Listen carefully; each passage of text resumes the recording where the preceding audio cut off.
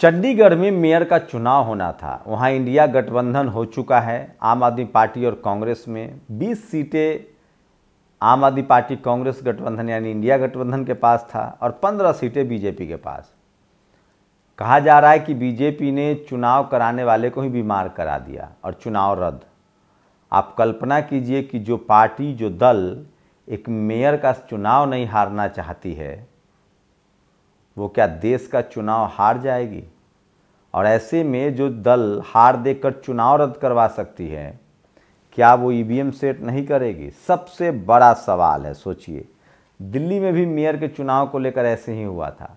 सवाल है कि बीजेपी जब इतना तोड़फोड़ कर सकती है, हार जाती है, वहाँ सरकार बना लेती है।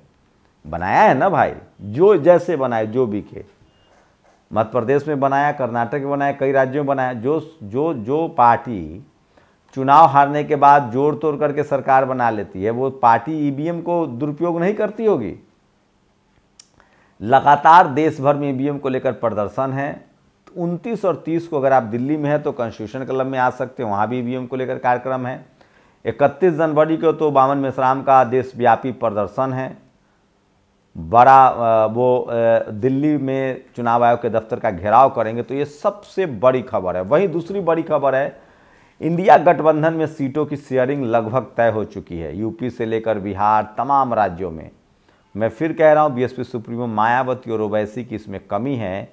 अगर वो आ जाएँ तो नतीजे एकाएक पलट सकते हैं और टीवी अखबार के लाख कोशिशों के बाद भी खेल पलट सकता है।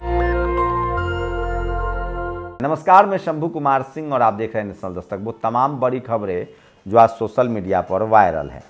और ये वो खबरें हैं जो मैं आपके लिए लेकर आता हूँ। सोचिए, ये सूर्या समाजवादी ने ट्वीट किया है। वैसे तो प्रज्ञा मिश्रा, रवीश कुमार, अजीत अंजुम, अभिसार शर्मा और पूर्ण प्रसून वाजपेयी बहुत अच्छे पत्रकार हैं, लेकिन पिछड़े दलित अल्पसंख्यक छात्रों की आरक्षण चोरी पर चुप रहेंगे। ओबीसी महिला आरक्षण पर चुप रहेंगे, जाति जनगणना पर चुप रहेंगे, सभी बड़े पदों पर सवर्ण के अधिकार के खिलाफ चुप रहेंगे। यूनिवर्सिटी में एक तरफ़ से सवर्णों की नियुक्ति पर चुप रहेंगे, गोदी मीडिया पर बोलेंगे, लेकिन सवर्ण मीडिया के अधिकार पर चुप रहेंगे, जाति है कि जाति नहीं तो सोचिए। इनके मोदी विरोध को आप बहुजन हितैषी मत समझिए। ये मोदी विरोध करके कांग्रेस के पाले में जा सकते हैं, सपा, बसपा, आरजेडी, जेडीयू के साथ नहीं जाएँगे। ये आपको समझना पड़ेगा और इस बात से मैं सहमत हूँ, इसलिए मैं कह रहा हूँ, सोशल मीडिया ही बहुजन मीडिया है। तो यह सोचिए प्रज्ञा मिश्रा ने मिस्टर सूर्या समाजवादी, अगर आप एक पिता द्वारा उत्पन्न की हुई संतान है, ये भाषा है प्रज्ञा मिश्रा की। उनसे कुछ सवाल इतना ही पूछा गया था कि आपके रिश्तेदार बीजेपी में ज्वाइन कर रहे हैं। इसका मतलब पूरे यादव समाज को कैसे कह रहे हैं? उनको फैक्चुअल फैक्चुअल ठीक किया जा रहा था तो पहले तो उन्होंने दुहाई दी कि मैं यादव फैमिली में शादीशुदा हूँ तो क्या? फिर उन्होंने कहा कि फैक्चुअल को करेक्ट कीजिए कि क्या आप पर जो आरोप है कि आपके रिश्तेदार गए हैं बीजेपी में, उसको आपने पूरे यादव समाज से जोड़ दिया। बस इतनी सी खबर है। इसको लेकर पूरा बहस है। लेकिन मैं एक बात कहता हूँ, जो सवर्ण पत्रकार हैं, जो सवर्ण समाज के पत्रकार हैं, वो S C S T O B C अल्पसंख्यक किसानों के कॉन्स्टिट्यूशनल राइट्स के बारे में नहीं बोलते हैं, ये सच है। ये चारों नोटिस कानून की नज़रों में इलीगल है इनवैलिड है। क्यों क्यों इलीगल है? सोचिए, आम आदमी पार्टी ने ईडी की नोटिस को ही इलीगल कह दिया है। आप सोच सकते हैं, इस देश में मीडिया ने किस तरह से बीजेपी के आने के पहले दलित पिछड़े आदिवासी नेताओं को बदनाम किया। मैं शुरू से कहता था ना, लालू यादव, मायावती जी, मुलायम सिंह यादव, ये सब हेमंत सोरेन, शिबू सोरेन, ये सब निर्दोष लोग हैं, इनको बदनाम किया गया, फंसाया गया। अब सोचिए, जब सवर्ण नेता नोटिस भी नहीं मान रहे चलिए, अब तेजस्वी और कम से कम हेमंत सोरेन भी कह रहे हैं कि हम भी नोटिस नहीं मानते हैं। तो ये स्थिति हो गई। अब ईडी की नोटिस को कोई मानने के लिए भी तैयार नहीं है। ये सोशल मीडिया पर सबसे बड़ी खबर है जो आज वायरल है, और इसलिए मैं कह रहा हूँ सोशल मीडिया ही सच्चा मीडिया है सोशल मीडिया ही बहुजन मीडिया है। नौ साल में 25 करोड़ लोगों को गरीबी से बाहर निकाला है। कांग्रेस ने गरीबी हटाओ का नारा दिया, लेकिन हमने काम किया। ये पीएम का बयान है, जिसको लेकर कन्हैया ने कहा। फिर वे पचासी करोड़ कौन है जो पाँच किलो मुफ़्त राशन के लिए लाइन में लगते हैं? सवाल है कि जब 25 करोड़ लोग अमीर हो गए तो ये पचासी करोड़ लोगों को राशन क्यों दिया जा रहा है? अस्सी करोड़ लोगों को। ये बड़ा सवाल तो है। और ए छात्र फैजान को यूपी ने गिरफ़्तार किया। आईएसआई से जुड़े होने का आरोप है। आरोप कह रहा हूँ। तो सोचिए, दलित पिछड़े आदिवासी अल्पसंख्यक समुदाय के छात्रों के लिए कितना मुश्किल है। उनको कब कौन गिरफ़्तार कर ले, कहाँ गिरफ़्तार कर ले, कहाँ नहीं जा सकता है। तो ये सब कुछ, टाडा, ये सब तमाम यूएपीए सब कानून बीजेपी की देन नहीं है, सब चिदम्बरम की देन है। इंडिया गठबंधन में अब सामंजस्य बनता दिखाई दे रहा है। बिहार, उत्तर प्रदेश, महाराष्ट्र, दिल्ली, पंजाब में लगभग गठबंधन हो चुका है। ये ये भी सोशल मीडिया पर सबसे बड़ी खबर है जो मैं आपको शेयर कर रहा हूँ। और इसलिए कहता हूँ, सोशल मीडिया ही सच्चा मीडिया है। और नीतीश कुमार की नीति सफल होती दिख रही है। इंडिया गठबंधन के तमाम दल अपना सीट बंटवारा लगभग राज्यों में पूरे कर चुके हैं। बिहार, उत्तर प्रदेश, दिल्ली, पंजाब, महाराष्ट्र में करीब सीट फाइनल है।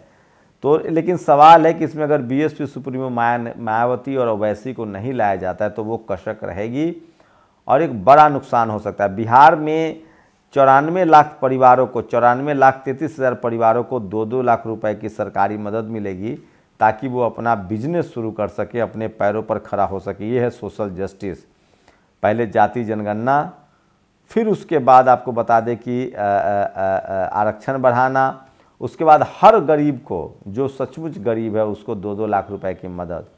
इसको कहते हैं सोशल जस्टिस और चौरानवे लाख तैंतीस हज़ार दो सौ बारह परिवार को जो है वो रोज़गार करने का मौका मिलेगा। और इसीलिए जाति जनगणना ज़रूरी है, सोचिए। लेकिन लोग जाति जनगणना के विरोध कौन करते हैं? आज सोशल मीडिया पर एक खबर वायरल है, एक टीटी, हम तस्वीरें नहीं दिखा सकते हैं। एक टीटी ने सरेआम टिकट एक यात्री को मारा।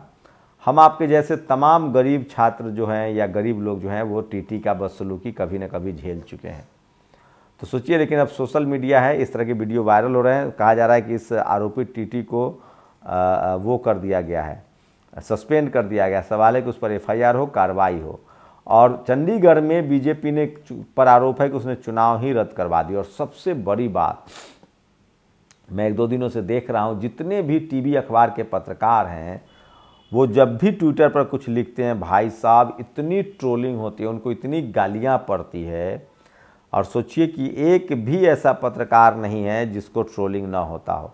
तो आज की सबसे बड़ी खबरें थी जो सोशल मीडिया पर वायरल है, और इसलिए मैं कह रहा हूँ कि सोशल मीडिया ही सच्चा मीडिया है, सोशल मीडिया ही बहुजन मीडिया है। आप लोग अपनी प्रतिक्रिया ज़रूर दीजिए। तो आज के समय में टीवी अखबार के पत्रकारों को सबसे जनता देखना पसंद नहीं कर, नब्बे नब्बे, संतानवे संतानवे, सौ सौ जो जो ट्वीट्स के रिप्लाई आते हैं, वो बिल्कुल उनके खिलाफ हैं। वहीं रूबिका लियाकत की माने तो जुबैर, जो ऑल्ट न्यूज़ के संस्थापक है, वो वो चंदा चंदा करते हैं। उनका कहना है कि चंदा दो चंदा दो चंदा दो करते हैं, वो डोनेशन डोनेशन। क्या आप लोग रूबिका को बड़ा पत्रकार मानते हैं या जुबैर को?